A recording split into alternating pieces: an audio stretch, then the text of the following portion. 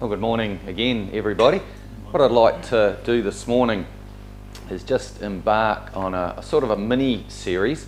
I've called it the Major Prophets for Dummies. Um, you know, after the way that the the world often writes books. You know, it might be computers for dummies or Microsoft for dummies. Just a sort of a, a tongue-in-cheek way of saying, well, we're going to give you the basics for, for anyone who's really a bit ignorant of these things and, and set you on the right way. And this was prompted actually by a request from Sister Candice, just wanting to understand a little bit more about what the prophets were about, particularly Isaiah, Jeremiah, Ezekiel. So th- those three major ones. And I've got to admit, um, my heart leaps when, when people request things like that, um, to want to understand more. And the reality is, I believe it's an important principle to have a, a summary foundation understanding of something before you can actually build on the detail. In other words, in, in, relation to this subject, it's good just to understand, you know, the, the basic principles about the books before you can actually go into all the little nitty gritty word by word details of it. Because if you don't understand the essential overview, then you can sometimes be led off on tangents on, on little minor points. So, first of all, we're going to start with the prophet Isaiah. Who? Who was Isaiah and what timeline does his book cover? Um, another reason why, for me, that this is special is because I grew up in a, a mainline church that had regarded the Old Testament as finished, done, over. Um, that was all about the Jews. The Jews blew it, and now we're living in New Testament times with Jesus. The Old Testament means nothing. So there was very little emphasis on the Old Testament at all. And although as a youngster, it didn't really mean much to me, didn't really know much, when I got converted and came to realize that actually the old and the new they dovetail, Jesus basically quotes pretty much everything he teaches from the Old Testament. And the Old Testament still has a lot of stuff yet actually to be fulfilled, and it's all one big package. Um, I, I got to admit, even to this day, after 42 years, the Old Testament still sways me. Yeah, the New Testament, as we call it, it's great, fantastic. But if I had to make a choice, I would always be swaying back towards the Old Testament and some of those amazing stories of God, um, his, his law, and, and of course the prophets that were in this morning. So, Isaiah, who was he? Well, he was a prophet of God, and he prophesied around the time of 740 to 700 BC. So, a period of about 40 years. And we're told in chapter 1 that he prophesied during the times of the kings of Judah, specifically Uzziah, Jotham, Ahaz, and Hezekiah. Isaiah's name means Yah or God has saved. And when you bear in mind the message that he brings to, to Israel during his prophecy, he very much lives up to his name, bringing lots of uh, prophecies about God's salvation. Now, what was the overall thrust of Isaiah's message? Well, as with all the prophets, they were generally used by God to warn and correct Israel and bring them back to God. Uh, you know, the prophets really didn't need to speak if a king was righteous. They were still there, for sure, but you didn't actually hear a lot from them because the king was serving God. They very much then just performed a, a supporting role just advising the king, um, obviously hearing from the word of God, as opposed to very much a strong warning and correct and correcting message.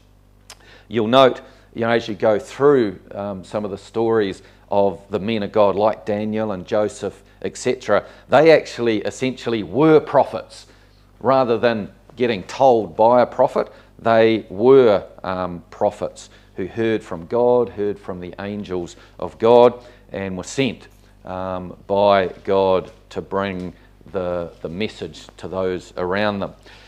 In Isaiah chapter 1, this is sort of a, a good summary of Isaiah's message from verse 3. He says to Israel, The ox knows its owner, the ass his master's crib. But Israel does not know. My people do not consider. Ah, sinful nation, O people laden with iniquity, a seed of evildoers, children that are corrupters, they have forsaken the Lord. They have provoked the Holy One of Israel to anger. They are gone away backward. So, you know, this is basically the thrust of Isaiah's message to say to Israel, listen, God made you. He owns you. He's your father, He's your maker. You don't even know who He is. You've strayed so far. And one of the beautiful verses in Isaiah, and it's in the same chapter, chapter 1, verse 18, God says through the prophet Isaiah, He says to Israel, Come, let us reason together. Though your sins be as scarlet, they shall be as white as snow. And I'm going to talk a little bit more um, shortly, hopefully, about the character of God. But doesn't that just scream out about the character of God? Here's Israel, who for many years have adulterated against their God, gone after idols, done all manner of abominations before the Lord. And he's sending his prophet Isaiah to rebuke them, to warn them, but he still condescends to say to them, Come, let's reason together. You know, God could have rightly said, Listen, you lot, smack gone, like, like he was going to do, remember, in Moses' day. You know, he said to Moses, Stand aside, these bunch of rebels, I'm, I'm going to make a new nation. He could have, could have done that. But he says, No, come let us reason together. And I liked your prayer, Alan, the way you were likening ourselves. We, we are essentially the modern day Israel. We've been grafted in to the Jewish hope given to Abraham. Yes, we're Gentiles, but so was Ruth, you know, so was Caleb, so was Rahab. Gentiles who were grafted in in Old Testament times to that, to that Jewish hope. So the same warnings, the same promises are ours, and we also do well to take heed. And for us also, when we step out of line, when we sin, God says to us, Come, come on, let's reason together. Let's sit down and discuss this path you're on, and let me help you see reason.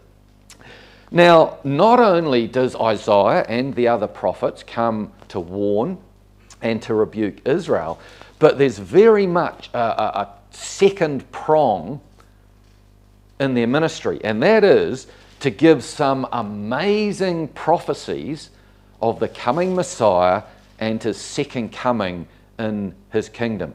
So you've, you've essentially got these, these two ministries going on with the prophets. They're rebuking and warning to the present um, condition, but they're also speaking many things from God about what the future holds. Amazing, isn't it?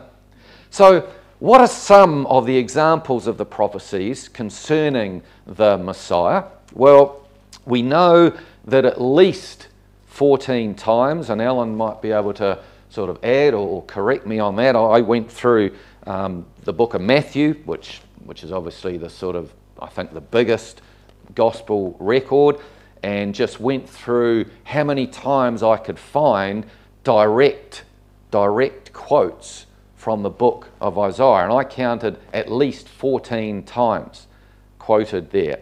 And of course, the Apostle Paul, in his writings as well, he also many times quotes um, from the book of Isaiah. So, very much, very much forms part of not only Jesus' teaching, but New Testament teaching. Um, in relation to the Messiah. Isaiah 11, of course, is one of those ones we know often quoted at Christmas, how the, the virgin, you know, shall give birth. Isaiah 53, and uh, that's very much a key one in relation to the Messiah, how he would suffer and, you know, be regarded um, by the people as, as nothing, and how he would bear our sins. And Isaiah 61, and Jesus actually quotes this in the synagogue um, one day about how he is going to bring the good, the good news. So those very much talk about his first coming, and there are also many examples in Isaiah uh, uh prophecies of Jesus' second coming. In fact, much more emphasis on that. Isaiah chapter 2, again, we, we know this well about how the law shall go forth from Zion and men There'll be no more, no more war anymore, and men will beat their swords into plowshares and their spears into pruning hooks, and they will learn war no more. Isaiah 11, which I know is one that um, Ruth shared with Janet way back when Janet first got converted, talking about the kingdom era when even the animals, you know, as, as now, the whole of creation groans, doesn't it? You know, it's not just us in our sinful state, the whole of creation is groaning because of what man has done. And in the kingdom age, the whole of creation as well is going to be blessed by the Messiah reigning. And Isaiah 11 gives those wonderful prophecies about how even things will be changed in the animal kingdom. The lion, as we know it today, is a, is a hunter, it's a carnivore. It kills, it eats. But in the kingdom age, it's going to become a, herbivore because it says, you know, the lion will eat, eat straw or herbage. And a little child will be able to play at the den of, a, of an asp, of a poisonous snake, won't harm it. And it talks about how the wolf will lie down with the lamb. You know, normally, yes, the lamb might get to lie down with the wolf, but it'll be lying down very much dead or half devoured. But no, they'll be at peace. And how a little boy will be able to lead these animals around. Ah, oh, fantastic. What a wonderful picture of the coming kingdom if you carry on all through the book of Isaiah, there are many prophecies like this. Chapter 24 through to chapter 27 talks a lot of detail as well. Isaiah 65 talks about the new heavens and the new earth that Peter quotes in 2 Peter 3. Again, just showing that creation, the whole of creation, is going to be changed, restored. In Isaiah 42, verse 1, it says there, Behold my servant, whom I uphold, my elect, in whom my soul delights. I have put my spirit upon him. He shall bring forth judgment to the Gentiles. He shall not cry, nor lift up, nor cause his voice to be heard in the street. A bruised reed shall he not break, the smoking flax shall he not quench. He shall bring forth judgment unto truth. He shall not fail nor be discouraged till he have set judgment in the earth and the islands shall wait for his law. So there's another beautiful scripture in Isaiah just talking about this coming kingdom and how the one to whom this is referring to, of course, the Lord Jesus Christ, shall not be discouraged or fail until all of these things be fulfilled. So these kingdom prophecies, and, and, and there's a lot in, in Isaiah, what do they tell us about the nature of God's kingdom? You know, if maybe you're reading these prophecies for the first time and you're thinking about the kingdom and wanting to know where it is and, and you know, the details of it, well, what do these prophecies tell us? Well, fundamentally, the first thing they tell us is that the kingdom of God is going to be on earth, not up in heaven. Yes, Christians will point out that Jesus said, um, you know, my reward is in heaven. Yes, it's called the kingdom of heaven. But guess what? Jesus brings it, doesn't he? A scripture that says, Behold, I come quickly, and my reward is with me. So we don't have to go and get it. Jesus is bringing it to the earth. And as I said in Isaiah 2, it talks about how in the last days, the mountain of the Lord's house, where was that? That's Zion, that's Jerusalem in Israel. It shall be established and exalted, and all nations shall flow into it. Many people shall go and say, Come, let us go up to the mountain of the Lord, to the house of the God of Jacob, and he will teach us of his ways. We will walk in his paths, for out of Zion, where was Zion? On earth shall go forth the law and the word of the Lord from Jerusalem. He shall judge among the nations. So, if he's going to judge among the nations, are the nations going to heaven? No, of course, they're going to be on earth. The mortal population during that thousand year reign that the immortal saints with Christ will reign over. And etc. goes on to talk, as we've said, about the swords being um, beaten. In other words, the um, instruments of war being turned into in- instruments of horticulture and productivity. In Isaiah 11, also verse 16, it says, There shall be a highway for the remnant of his people, which shall be left. Uh, that word remnant quite a sad word, really, and it indicates, as other scriptures do, that Israel is in for a hard time yet. A um, couple of major invasions, at least a third of Israel being destroyed, so it's going to be whittled down to what is referred to here as a remnant. Paul picks up on that as well in the book, the book of Romans. It says, A remnant shall be left from Assyria, like as it was to Israel in the day that he came up out of the land of Egypt. And in Isaiah 19, it talks about this highway between Assyria, that's what we call today Iran, Iraq, which of course is a, a major enemy and, and arguably leading this, this latest conflict, supporting this, this latest conflict between Assyria, Iran, Iraq, and Egypt, which of course historically and again will be that dragon power that will invade Israel with her, her confederates as well, and Israel. And it talks about all of those parties who at the moment are at war, how there'll be a highway linking them together, constant passage going on between them, and that they will all be regarded as the people of God. This is the time of peace that the Bible refers to. You know, in that, that scripture in Isaiah 65 that I referred to earlier about the new heavens and the new earth, it talks about how the mortal population will live much longer, just as they did, you know, in the time of the um, original patriarchs back in the like of, likes of Noah's day and um, Shem and Noah and all that. They lived, they lived hundreds of years. And it says if someone dies being 100 years old, that will be as if they are a child. That will be a curse to die that young. So, again, the mortals, again, because of the kingdom on earth and the effect that will have, they will live much longer. Now, let's just think about this kingdom a, a little more. So, what is a kingdom? What does it consist of? Well, you always get a ruler in a kingdom. You always, if you've got a kingdom, you've got to have somebody for the ruler to rule over. So you've got the subjects that are ruled over, you've got a, a country, a land base that forms the kingdom. You'll always have laws and, and edicts that help everyone keep in order. You'll have a banner or a flag that the country um, rallies under. You'll have a capital city where normally the seat of government or the throne for that kingdom is. And you know, when you read about the kingdom of God that's coming to earth, it has all of those constituents. Every single one are there. So, you know, going through the book of Isaiah, it's a big book, there's a lot of chapters in it. Many great scriptures about the coming kingdom, etc. If I was to select some that are good representatives of the overall message, well, I was almost going to say that would be an impossible task because there's so many good ones. But I've forced myself to choose a few.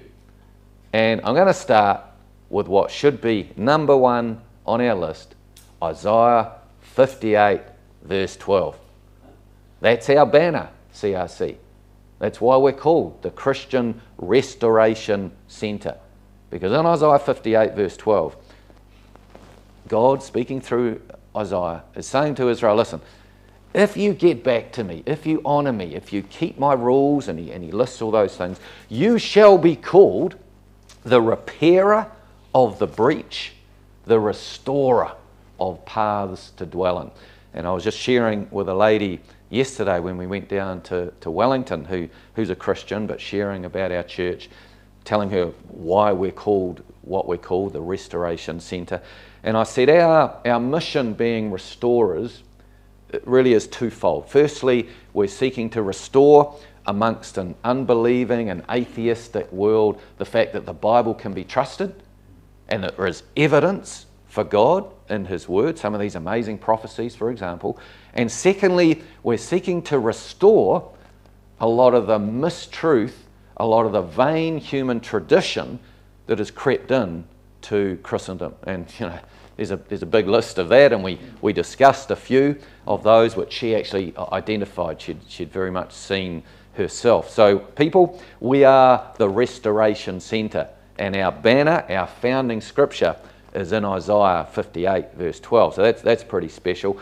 Isaiah chapter 1 that I read to you earlier about God wanting to reason together.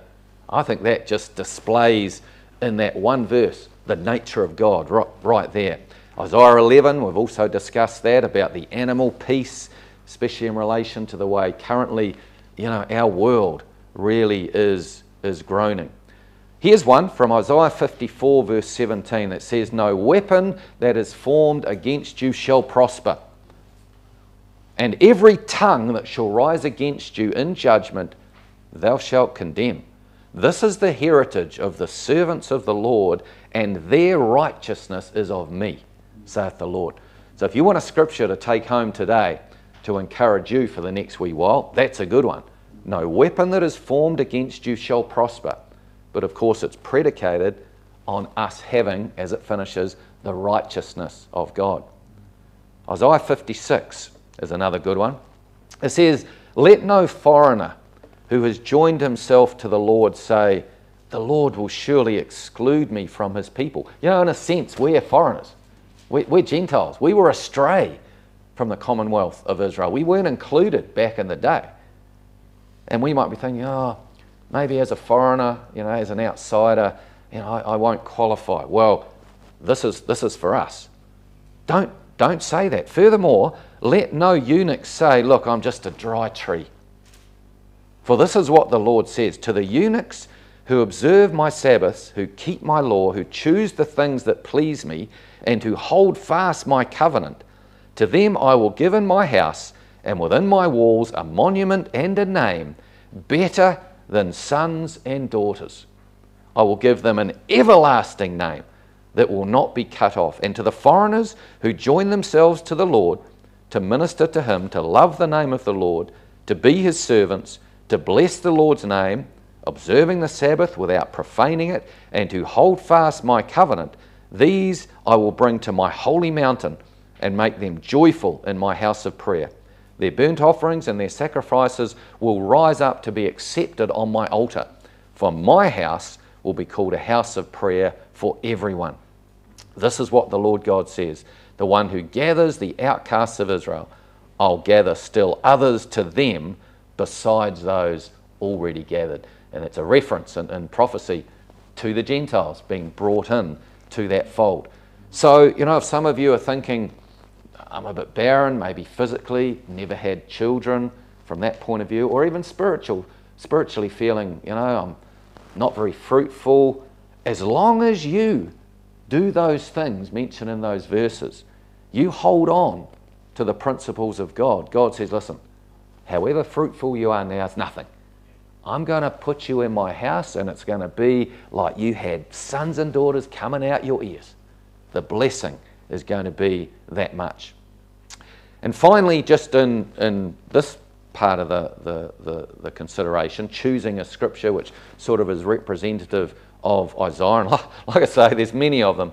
I've chosen this one as well. Isaiah 43 9 to 11 says, Let all the nations be gathered together, let the people be assembled. Who among them can declare this and show us former things? Let them bring forth their witnesses that they may justify it, or let them hear and say, It is truth. You are my witnesses, says the Lord, my servant in whom I have chosen that you may know and believe me and understand that I am He. Before me there was no God formed, neither shall there be after me. I, even I, am the Lord, and beside me there is no Saviour. I love that scripture because it lays a major foundation for what we call apologetics. Uh, it's a little bit of a misnomer to me because you know when you apologize it's like oh i'm sorry i'm a christian. Yeah, i'm sorry there's evidence. It's what it sort of sounds like but actually the word apology it, it comes from latin or greek. It just means to give a defense all right? So when we talk about apologetics, we're talking about defending the Word of God, showing evidence that it is, in fact, the Word of God. And this scripture that we've just read is a fundamental foundation for that. Because what God is doing here, and, and if you can imagine a courtroom scene where you've got an accused, it's God in, in this particular case. You know, the people are saying, well, there's others, other gods and there's you. Well, why are you the God that we should follow? Right? So he's the one accused. And God says, listen, I'm going to bring my witnesses. Just like in a courtroom scene, um, an accused would bring witnesses to declare his innocence. And he chooses Israel. He says, You are my witnesses that I am God. And then what he does, through the prophet Isaiah, Jeremiah, Ezekiel, other, other places, he predicts, and he'd actually already done it with Moses even before this, about 1500 BC, when he said, Here's my law, obey me, I'll bless you, disobey me, I'll curse you. And some of those curses will be that you'll be scattered, you'll become a proverb and a byword, you'll be hated. See that even today with, with Israel that's still astray. He prophesies their future. He says, You'll actually end up being scattered, but not because of your righteousness. I will bring you back from your land. I will restore you. I will bless you. We'll, we'll rebuild a temple, which would ultimately um, be desecrated by the man of sin, and then I'll send my Messiah. And that's a summary of the main points. There's a lot more in there. But God chooses Israel as his witnesses, declares the future for them, and then says to all the other rival gods, You do the same. Put up, as we would say, put up or shut up. Bring your witnesses or have the courage to say, Wow, it is truth. You know, I find it so frustrating because this sort of evidence, it's so convincing. You cannot argue with history. But how many times have we shared with this with people?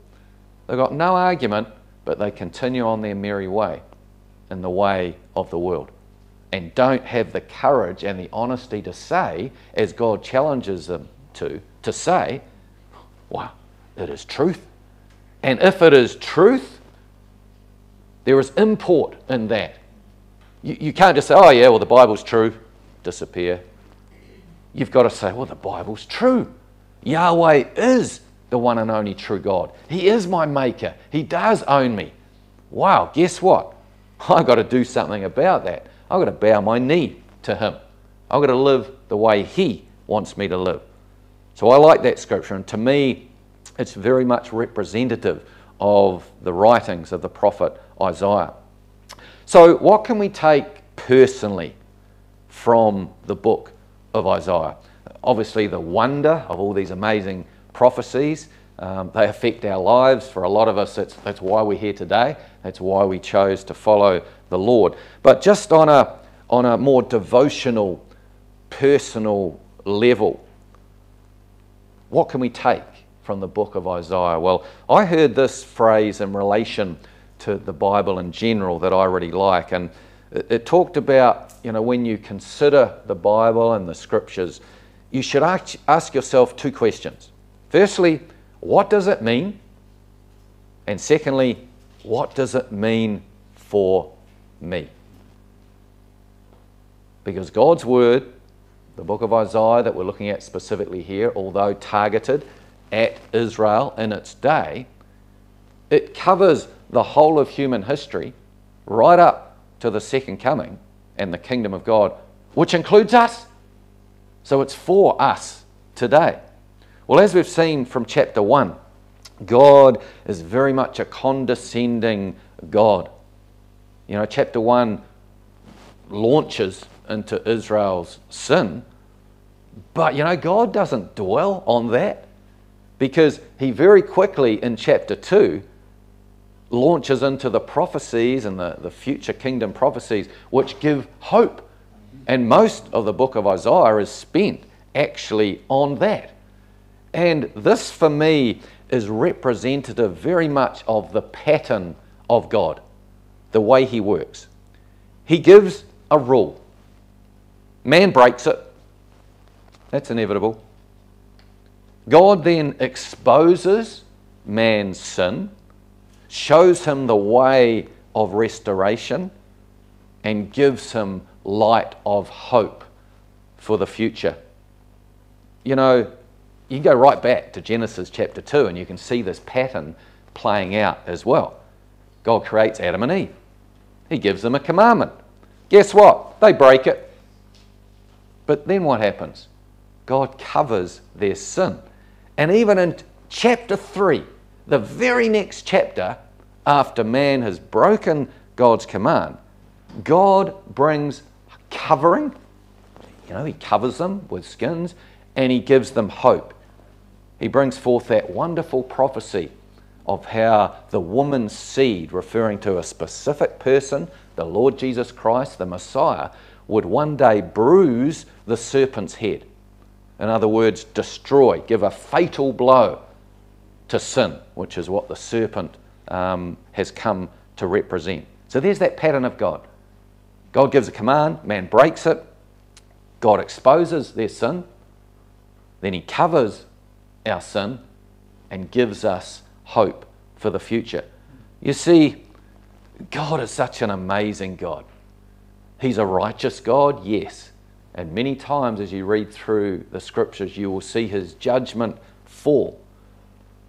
But as you read through the scriptures, you become, it's, it's, it's blatantly obvious that that judgment of God does not fall quickly. God takes no pleasure in the death of the wicked. He made man ultimately to have relationship with him. And he, he is at pains to try and accomplish that. And so, for me, summarizing the book of Isaiah, and as we see the way the book of Isaiah pans out, for me, that pattern of God just it leaps out. And that pattern of God as well um, is ours. I'm just going to finish by quoting Ezekiel chapter 33, verse 11. Shouldn't be quoting Ezekiel when I'm talking about Isaiah, should I? That's just against the rules. Well, guess what? The same God wrote them all, so I'm going to quote it. Ezekiel chapter 33, verse 11 says, Say unto them, As I live, says the Lord God, I have no pleasure in the death of the wicked, but that the wicked turn from his way and live. Turn ye, turn ye from your evil ways, for why will you die, O house of Israel? So there's a fairly short summary of a big book, but I hope for some that just helps lay a foundation to actually look into the awesome details that are uh, enclosed in that wonderful book.